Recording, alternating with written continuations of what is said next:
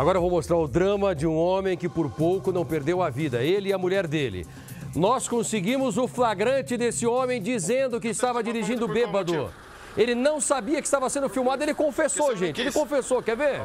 Tá certo.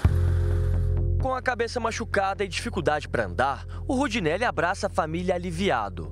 O zelador foi atropelado por uma moto e por pouco não morreu. Eu olhei para trás, a moto veio em toda a direção, né? Perdeu a direção e veio para cima de mim.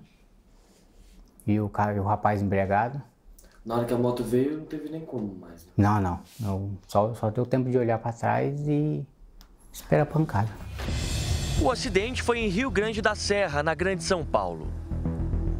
De repente morrer, né? Porque até então não tinha visto o, o, o estrago, né? E quando a minha esposa estava com um papel, com um pano, e o socorrista chegou, ele pediu para Tatiana para ver. Pela feição dele, que ele olhou o estrago, eu, eu me preocupei, aí eu me preocupei. O Rudinelli estava juntamente da esposa, os dois caminhavam aqui nessa calçada, indo em direção à casa de um familiar, quando de repente veio uma moto em alta velocidade, nesse sentido, totalmente descontrolada. A mulher conseguiu se salvar, mas o Rudinelli foi atropelado e caiu aqui. A gente percebe algumas marcas na pista, tem também até um pedaço do capacete do motociclista. A suspeita é que ele estava embriagado. O condutor da moto teve apenas ferimentos leves. Ele se recusou a fazer o teste do bafômetro, mas assumiu ter bebido. Eu estou errado.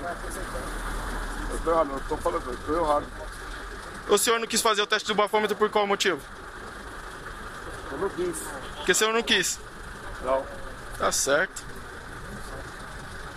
O senhor, o senhor falou que bebeu. Olha aí. Rudinelli trabalha como zelador, mas agora está afastado. No dia seguinte ao acidente, ele teria uma entrevista para um novo emprego, com um salário maior, mas acabou perdendo a vaga. Avisei, mandei uma mensagem avisando que eu não vou poder estar comparecendo. E a pessoa também lá, a entrevista, também não vai poder aguardar, né? Porque eles também têm, têm pressa de, de pôr um candidato. A mulher de Rudinelli está bastante abalada. É difícil esquecer a cena que presenciou.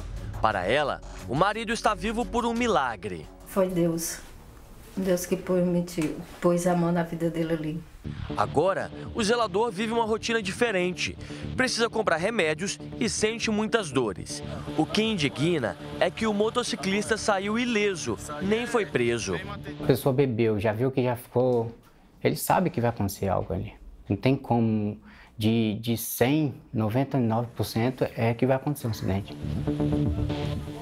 Ainda sobre essa reportagem, segundo a Secretaria de Segurança Pública de São Paulo, o motociclista foi socorrido ao pronto-socorro e submetido ao exame para a constatação da embriaguez. Assim que finalizados, os laudos serão analisados pela autoridade policial. O caso foi registrado como lesão corporal, embriaguez ao volante e atropelamento.